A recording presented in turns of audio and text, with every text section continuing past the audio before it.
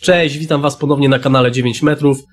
Mówi do Was Wasz Skibi, który będzie się dzisiaj mądrkował na temat interfejsów audio i mikrofonów do warunków domowych.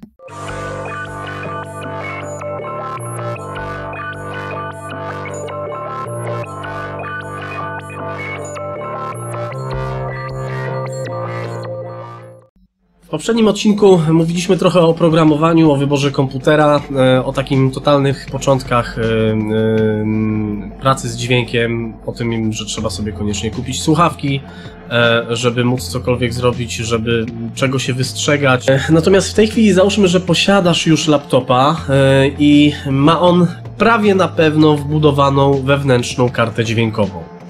Zainstalowałeś sobie już na nim oprogramowanie, mm, popróbowałeś coś tam porobić, już ci wyszedł tam powiedzmy jakiś tam pierwszy bit, nawet się spodobał twojej mamie, kolegom może nie do końca, ale co się dzieje dalej?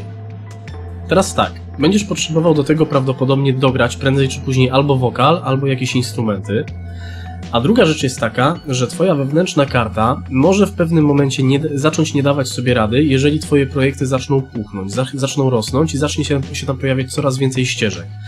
I w tym momencie zahaczamy o temat interfejsów audio. Co to jest interfejs audio?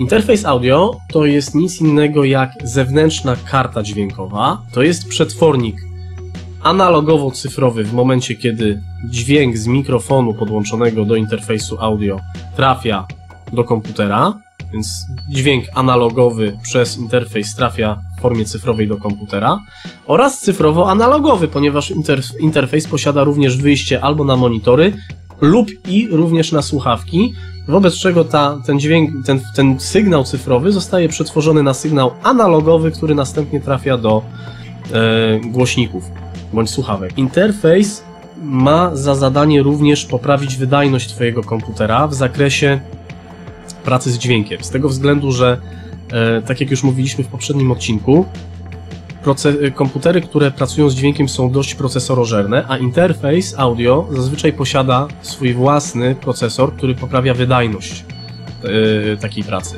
Wobec czego może się okazać, że projekt, który ci spłuchł, nagle zaczyna się w jakiś dziwny sposób przycinać w momencie, kiedy nie masz podpiętego interfejsu, ale gdy podepniesz sobie zewnętrzną kartę dźwiękową, okazuje się, że jest ten twój komputer w stanie dużo więcej udźwignąć.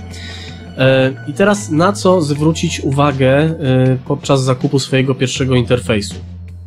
Ja bym skupił się na trzech, na takich trzech najważniejszych punktach. Pierwszy to jest rodzaj i ilość wejść i wyjść, jakich będziesz potrzebować, bo każdy potrzebuje, no, każdy zamierza robić coś innego, yy, więc będzie potrzebował innego, innego sprzętu, który mu do czegoś innego posłuży. Rozdzielczości, w jakiej może pracować interfejs, to jest drugi, drugi punkt. I trzeci, latencji, z jaką może pracować interfejs. I teraz spróbuję Wam wyjaśnić te poszczególne punkty. Każdy interfejs posiada jakieś porty wejściowe i wyjściowe. I teraz w zależności do czego ma posłużyć Ci ten interfejs, to na etapie jego wyboru powinieneś się określić, co będziesz z nim robić. Jeżeli potrzebujesz tylko i wyłącznie nagrywać jeden wokal w czasie rzeczywistym z jednego mikrofonu, to wystarczy Ci spokojnie jedno wejście z przedwzmacniaczem mikrofonowym i najlepiej z zasilaniem fantomowym 48V. To jest tak zwane zasilanie, które jest fantomowe, które jest niezbędne do tego, żeby e, Twój interfejs mógł pracować e, z mikrofonem pojemnościowym. O mikrofonach będzie dalej, więc wyjaśnię też, co to są mikrofony pojemnościowe. E, jeśli potrzebujesz oprócz mikrofonu podpiąć liniowo jakieś instrumenty, na przykład gitarę i jednocześnie w czasie rzeczywistym sobie do tej gitary pośpiewać, no to potrzebujesz już dwóch wejść i e, tu wystarczy drugie wejście liniowe, bo gitarę podpinamy tylko i wyłącznie liniowo. Ona nie potrzebuje 48V dodatkowego zasilania, żeby E, żeby, żeby interfejs ją udźwignął i nagrał. E, wystarczy zwykłe wejście liniowe, ale warto wcześniej upewnić się, czy Twój instrument również nie potrzebuje dodatkowego wzmocnienia sygnału. Bo może się tak zdarzyć, że Twój instrument potrzebuje dodatkowego wzmocnienia, więc w tym momencie musisz się już dowiedzieć, czego dokładnie, w jaki sposób ma być zasilane Twoje urządzenie i szukać interfejsu, który będzie posiadał takie wejście, które to urządzenie zasili.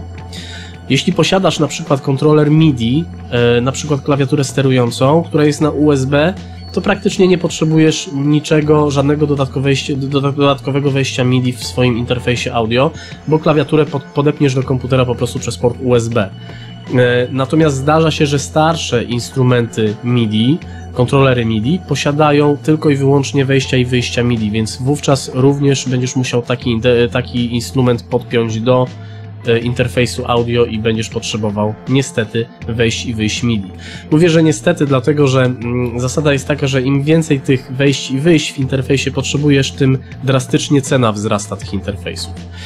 E, jeżeli chodzi o wyjścia, mm, to zakładam, że przy pracy w domu nie potrzeba nic więcej niż wyjścia tylko i wyłącznie do odsłuchu w postaci dwóch monitorów, lewy, prawy, więc wyjście stereofoniczne e, do zasilania, do monitorów odsłuchowych oraz do zasilenia słuchawek. I to jest wszystko. To nie oznacza, że od razu kupując interfejs musisz kupować monitory. Wróć do poprzedniego odcinka i posłuchaj o słuchawkach. Wystarczy, że zaopatrzysz się w dobre słuchawki, możesz spokojnie, z powodzeniem e, na słuchawkach pracować przez długi, długi czas i myślę, że nawet dużo można osiągnąć na słuchawkach, jeżeli nie masz dobrej adaptacji akustycznej pomieszczenia i twoje monitory w żaden sposób ci się nie przydadzą w, w pracy w domu. Drugim punktem była rozdzielczość, w jakiej pracuje interfejs i nie chcę teraz tłumaczyć dokładnie, co to jest częstotliwość próbkowania i głębia bitowa, bo to jest obszerny temat, na, który na pewno będę chciał poruszyć w innym odcinku. E, ale musisz znać pewną podstawę. E, chodzi o tak zwaną jakość płyty CD, za którą uznaje się rozdzielczość wysoki, wysokości 44 kHz, w zasadzie 44,1 kHz na 16 bitów i to jest taka jakby minimalna norma, e, jaką możesz usłyszeć słuchając muzyki z płyty CD. I praktycznie każdy interfejs, y, chyba że jakieś, nie wiem, ewentualnie przedpotopowce, ale nie spotkałem się z czymś takim, pracują w minimalnie tej rozdzielczości 44 kHz na 16 bitów. Y, jednak y, przy edycji dźwięku, a w szczególności podczas miksów, y, a w szczególności miksowania dużej ilości ścieżek, dobrze jest pracować w wyższej rozdzielczości, przynajmniej 48 kHz na 24 bity. Oczywiście miks zapisany w takim formacie nie da się wypalić na płycie CD audio, y, tak by w takiej właśnie rozdzielczości otworzył to pierwszy lepszy kompakt. Y, trzeba taki miks będzie później obniżyć do 44 kHz na 16 bitów. Natomiast finalnie, y, pracując w takiej rozdzielczości 44 na 16, mix może stracić trochę dynamiki, jak i można, y, wprawne ucho, ucho może usłyszeć pewne niuanse, pewne takie jakieś nie, niedoskonałości, może troszeczkę po prostu w tym miksie brakować i zaleca się jednak pracę w wyższej rozdzielczości, a później zjechanie do niższej. E, I na to trzeba zwrócić uwagę i o tym często producenci interfejsów, w szczególności tych tańszych interfejsów, e, typu jakiś Behringer, M-Audio, e, nie chwalą się. Oni się chwalą innymi parametrami, tam może być dużo wejść, dużo wyjść, natomiast później tak czytasz instrukcję albo obracasz pudełko, a tam małymi literkami jest napisane, że interfejs pracuje tylko i wyłącznie w rozdzielczości 44 kHz na 16 bitów. I tak zdaje się jest, jeśli dobrze pamiętam, z interfejsem Akai EE, EIE, tak się to chyba czyta. Tam wyszły takie dwa modele interfejsu, on wygląda praktycznie identycznie. Jeden jest w kolorze czerwonym, drugi jest w srebrnym. I któryś z nich jest wersją Pro, a którąś, któryś z nich jest tą wersją bez Pro. I one różnią się kolorem oraz tym, że jeden pracuje właśnie, ten, ten słabszy pracuje mm, tylko w tej rozdzielczości 44 na 16 bitów. Natomiast y, mm, jest piękny, posiada tam cztery wejścia mikrofonowe, y, jakieś piękne wskaźniki, i wygląda kosmicznie i jak milion dolarów i kosztuje też bardzo dużo y, i można powiedzieć, że no, sprawia wrażenie bardzo funkcjonalnego sprzętu, a tak naprawdę pracuje w niskiej rozdzielczości i jeżeli ktoś miałby miksować na tym więcej ścieżek, to na pewno nie chciałby używać takiego interfejsu. I trzeci punkt to w takim telegraficznym skrócie i w takich żołnierskich słowach latencja. E, jest to nic innego jak opóźnienie pomiędzy sygnałem, jaki trafia do komputera, a jaki zostaje przez niego odtworzony. I jest to czas, który mierzymy w milisekundach i wydawałoby się, że milisekunda to jest bardzo niewiele i nie, nie będzie to miało żadnego znaczenia, ale uwierzcie mi, że to ma bardzo duże znaczenie i jest na dłuższą metę, duża latencja, czyli duże opóźnienie na dłuższą metę jest bardzo irytująca i utrudnia pracę, utrudnia nagrywanie i utrudnia też miksowanie tych ścieżek, które się nagrały z dużym opóźnieniem, bo je później trzeba bardzo precyzyjnie przesuwać w miksie. I zasada jest taka, że im mniejsza ta latencja, tym lepiej. Problem polega jednak na tym, że słabszy komputer może sobie nie poradzić z niską latencją. I zaczynają wtedy powstawać jakieś takie dziwne przycinki, sygnał stwarza się i nagrywa zniekształcony. I ta latencja powiązana jest ściśle z tym, o czym mówiłem wcześniej, czyli z częstotliwością próbkowania. I większość interfejsów posiada w swoich ustawieniach możliwość sterowania długością tej latencji, e, tak aby móc ustawić taką możliwie optymalną dla siebie, to znaczy taką, która nie obciąży Twojego komputera na tyle, żeby ten miks brzmiał i nagrywał się dobrze, e, no i też, żeby nie było takich dużych opóźnień. Natomiast ciężko tutaj się sugerować tym, co piszą producenci na opakowaniu sprzętu, z tego względu, że mm, jest ona mocno uzależniona od wydajności Twojego komputera i może się zdarzyć, że interfejs, który gdzieś tam charakteryzuje się bardzo niską latencją, na słabym komputerze możesz na nim tak czy inaczej tej niskiej latencji nie osiągnąć, tylko będziesz musiał ją zwiększać, zwiększać cały czas, bo, bo, bo będzie ci po prostu to wszystko się przycinało. I tutaj niestety myślę, że najlepszym punktem odniesienia byłoby już po wyborze jakiegoś typu, jeżeli masz już jakiś swój typ, popytanie po prostu na forach. E, słuchajcie, jak radzi wam sobie na przykład e, ten interfejs z procesorem takim i takim w takim i takim komputerze? I e, jeżeli chodzi o latencję. I myślę, że tutaj no, innej, innego wyjścia nie ma. Ewentualnie, jeżeli masz możliwość sprawdzenia, wypróbowania kilku interfejsów na swoim komputerze, no to można też tak zrobić, ale nie sądzę, żeby jakikolwiek producent sprzętu w sklepie, czy, czy sprzedawca w sklepie muzycznym zechciał ci wypożyczyć trzy interfejsy jakieś za 200 czy 300 zł do tego, żebyś sobie w domu sprawdził. E, no chyba, że jesteś super dogadany i masz jakiegoś znajomego w takim sklepie, to, to warto z tego skorzystać. No i to jest ten moment, w którym docieramy do mikrofonów. E, mikrofony to jest bardzo obszerny temat. E, ja w tym odcinku chcę się skupić tylko i wyłącznie na, mm, na tym, jakie, jakie posiadamy rodzaje mikrofonów. Nie będziemy mówić o e, sposobie ustawiania mikrofonu, bo to jest e, bardzo, myślę, że obszerny temat na drugi odcinek. Jeśli chodzi o mikrofony, to e, można je podzielić na, ze względu na ich zastosowanie, czy budowę, czy w jaki sposób się je podłącza. Mm, ja tak uprościłem bardzo, zawężyłem ten temat na potrzeby tylko i wyłącznie takiego zagadnienia jak nagrywanie w domu. I podzieliłem mikrofony na trzy grupy, na, ze względu na ich budowę. Na mikrofony dynamiczne, pojemnościowe i wstęgowe. I pierwszy typ mikrofonów to są mikrofony dynamiczne. E, I dynamiczny mikrofon jest to, jest w zasadzie tym samym, czym jest głośnik. Ma bardzo podobną, jeżeli nie można, w zasadzie ma taką samą konstrukcję. I jeżeli masz już na przykład w domu interfejs audio e, i słuchawki, to możesz spróbować podpiąć sobie słuchawki pod wejście mikrofonowe i coś do nich powiedzieć. I zobaczysz, że to, co będziesz mówił do mm, słuchawek, yy, nagra się. To się nagra prawdopodobnie bardzo cicho i z niską skutecznością, ale się nagra, dlatego że słuchaw, że mm, głośnik jest dokładnie tym samym, czym mikrofon i odwrotnie. Yy, mikrofon dynamiczny posiada membranę i elektromagnes, no i wypowiadane do niego słowa poruszają tą membranę, a ta z kolei porusza cewką, która się porusza w polu magnetycznym i w ten sposób wypowiadane przez ciebie czy tam wyrzucane przez ciebie fale dźwiękowe trafiają poprzez kabel gdzieś tam sobie dalej przez interfejs do komputera. E, mikrofon dynamiczny jest konstrukcją bardzo prostą, e, w przeciwieństwie na przykład do mikrofonów pojemnościowych i nie potrzebuje wzmocnienia, zasilania fantomowego, ale ma dużo mniejszą czułość oraz węższe pasmo i w praktyce oznacza to, że można powiedzieć, że zbiera najlepiej te fale dźwiękowe, które powstają tutaj najbliżej jego membrany. To nie jest mikrofon dynamiczny, to jest mikrofon pojemnościowy i o nim za, za chwilę będziemy mówić. E, ale dźwięk, jaki jest przetworzony może, przez mikrofon dynamiczny, może być pozbawiony tych skrajnie wysokich e, i niskich częstotliwości, które jeszcze są słyszalne przez ucho ludzkie. I to wcale nie oznacza, e, że to jest zła konstrukcja, że mikrofony dynamiczne są złe, bo one są powszechne i bardzo popularne od zawsze, od praktycznie początku, kiedy zaczęto próbować nagrywać w jakikolwiek sposób dźwięk, nagłaśniać go, wzmacniać. I mikrofon dynamiczny będzie na pewno bardzo dobrym rozwiązaniem w momencie, gdy nie posiadasz odpowiednio wytłumionego pomieszczenia i jest ryzyko, że bardziej czuły mikrofon może zbierać niepotrzebny głos, pogłos i szumy z całego pomieszczenia. Eee, i tak jak na przykład słyszycie w trakcie oglądania tego y, filmu, y, no ja używam tutaj mikrofonu e, pojemnościowego, bo nie mam w tej chwili w domu żadnego mikrofonu dynamicznego.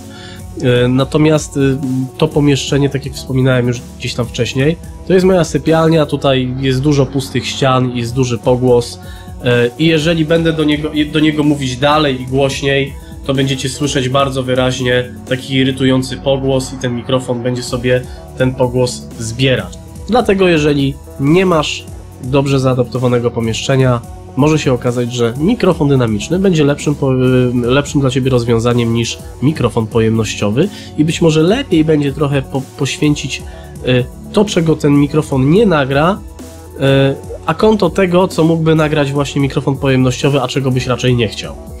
Czego ba będzie bardzo ciężko później pozbyć się z całego miksu. Takim najbardziej popularnym mikrofonem dynamicznym i myślę, że w zasięgu y, portfela każdego, to jest Shure SM58, e, który ma świetne zastosowanie do nagrywania wokalu i nie tylko do nagrywania wokalu, bo to jest mikrofon, który jest bardzo popularny na każdej scenie muzycznej.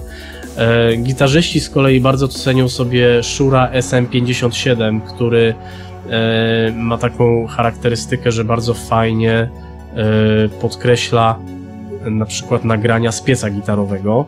E, i e, bardzo często wykorzystują go również w swoich nagraniach perkusiści i tym mikrofonem nagrywają na przykład werbel.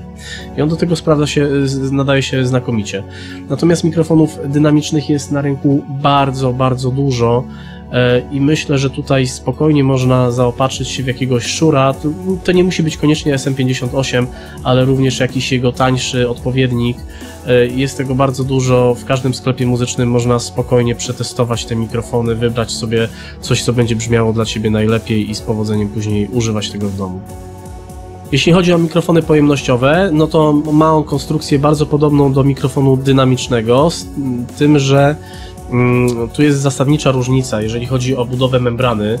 E, membrana w mikrofonie pojemnościowym jest dużo bardziej delikatna i jest połączona z kondensatorem. I tu jeżeli chodzi o taką dokładną konstrukcję, to ja nie chciałbym się na ten temat wypowiadać. Tutaj myślę, że raczej forum Elektroda to jest dobre miejsce, gdzie możecie na ten temat poczytać. E, w praktyce mikrofony pojemnościowe są bardzo czułe e, i to mogłem Wam przed chwilą pokazać, gdy się właśnie od niego odsuwałem zwiększałem jego wzmocnienie. Podejrzewam, że w tej chwili będziecie słyszeć, kiedy nic nie mówię, będziecie słyszeć wiatrach mojego komputera. A mikrofon dynamiczny by tego nie zebrał w ten sposób, przy takim wzmocnieniu, spokojnie. I mikrofony pojemnościowe są w stanie przenieść w zasadzie całe pasmo, jakie jest słyszalne przez ucho ludzkie. E, tylko że wymagają dość e, dobrej adaptacji akustycznej w miejscach, w którym się nagrywa i wymagają zasilania fantomowego 48V. Ale za to potrafią się odwdzięczyć bardzo pięknym, szerokim brzmieniem. I jeżeli chodzi o najpopularniejszych producentów e, tanich mikrofonów pojemnościowych, które z powodzeniem można wykorzystać w nagraniach domowych, to są to mikrofony AKG, Audiotechnika, MXL, Rode, e, może to być SE Electronics, e, może być Behringer. Jest tego bardzo, bardzo dużo tak naprawdę i tutaj oczywiście nie ma górnej granicy, jeżeli chodzi o cenę. Jednym z najbardziej popularnych mikrofonów pojemnościowych, którego raczej nie kupicie do domu, jest Neumann U87 i jest to mikrofon, którego brzmienie zna prawie każdy z Was, dlatego że mnóstwo muzyki mainstreamowej, która jest nagrywana w dużych, popularnych studiach, jest nagrana właśnie od dziesiątek lat na Neumannie U87. Tylko, że ten mikrofon kosztuje 11 tysięcy złotych i raczej nikt z Was nie kupi go sobie do domu i myślę, że nie ma zupełnie takiej potrzeby żeby zaopatrzać się w tak drogi mikrofon w domu. I wiele tańszych mikrofonów pojemnościowych można kupić w wersji na USB i to oznacza, że taki mikrofon nie wymaga interfejsu audio i możesz go bezpośrednio podpiąć do swojego portu USB w komputerze i on będzie działał. E, tylko jak on będzie działał i czy będzie działał dobrze? No, będzie nagrywał, będzie brzmiał jak mikrofon pojemnościowy, E, natomiast e, on posiada wbudowany już w sobie interfejs audio, musi mieć wbudowany interfejs audio po to, żeby sygnał analogowy móc przerobić na sygnał e, cyfrowy i wprowadzić do Twojego komputera. E, natomiast jest to interfejs niskiej jakości, który ma za zadanie tylko i wyłącznie zasilić ten mikrofon. On w żaden sposób nie poprawi, wyda nie poprawi wydajności Twojego komputera, e, więc jeżeli potrzebujesz tylko i wyłącznie mikrofonu do tego, żeby nagrywać jakiegoś wideobloga w domu, e, czy nie wiem, czy e, jakiś tam komentarz do gameplay, e, jak sobie tam grasz w jakieś gierki i nagrywasz sobie screen i, i wrzucasz to później na YouTube'a, to, to, to ci się pewnie przyda. To, to jest sprzęt, który jest warty wtedy uwagi i nie trzeba wydawać dużo więcej pieniędzy osobno na mikrofon i osobno na, na interfejs audio, tylko kupujesz po prostu dwa w jednym.